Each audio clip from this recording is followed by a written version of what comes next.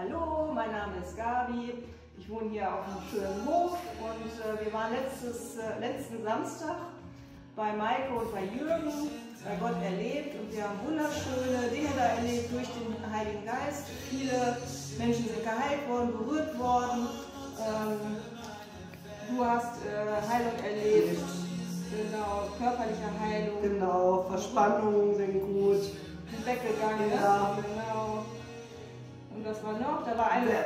Sehr, freudig war es, also man wurde richtig frei.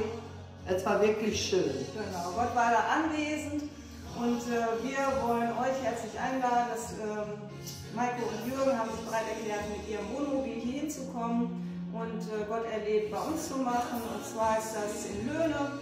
Wir werden äh, die Adresse noch, noch dann, ähm, denke ich, da drunter schreiben. Ja, Ja, und dann seid ihr herzlich willkommen, hier mit uns Gott erlebt zu feiern und die Kraft Gottes hier auch zu erleben. Eine Frau hat äh, Blutkrebs, die ist ähm, geheilt worden. Es gibt noch kein Zeugnis vom Arzt, aber wenn, wenn das soweit ist, dann äh, werden wir das auch nochmal hier Ja. ablichten. genau. Ähm, eine Frau hatte Depressionen, die ist ganz frei geworden. Eine Frau hatte einen Schlaganfall, konnte wieder laufen. Genau, mit ihrem Fuß. Der Fuß, der war völlig verdreht. Das ist wunderbar gewesen. Also wir hatten so eine Freude, wo der Heilige Geist ist, da ist Freude, da ist Liebe und die Kraft Gottes, die war so stark zu spüren. Also Man war fühlt sich richtig gut. Amen. Amen.